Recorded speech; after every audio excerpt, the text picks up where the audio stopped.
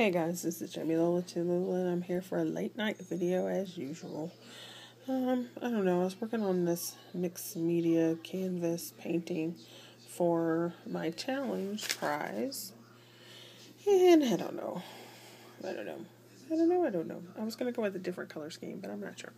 So, anyway, here is the canvas so far. Obviously, it's not done. But let me see if I turn on the hot light if it makes a difference. Um, a little bit. So here is the beginning stages. And actually I've been working on it part of the day. Most of the, not most of the day, but anyway. So there's that. I cut this out of some, out of the paper I got from the, um, the Indian paper stacks, the designer paper stacks and I put that on. And it was purple so you can see some of the purple coming through. But then I kind of wanted the black. So it's got like a black and purple feel and I, there's some gold shimmer on it. And then here's the basic part of her face. She's got to dry for a little bit. And part of her hair is done.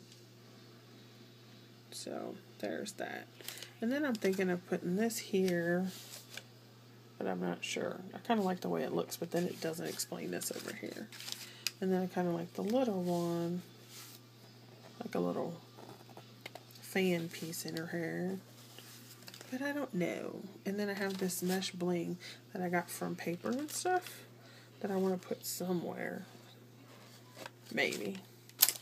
So I'm still working on that. That's why I haven't done my video for the winter yet. And basically I only had three entries, so yeah. So we'll see how we're gonna do that. So lady ladies it's coming. I'm still trying to figure out get this painting done between this and get my classwork done. and the fact that school is going to be starting here in a couple weeks, know, I'm really not feeling that either. I don't know. I guess I'm just having a night. Alright, I'll see you guys later. Bye.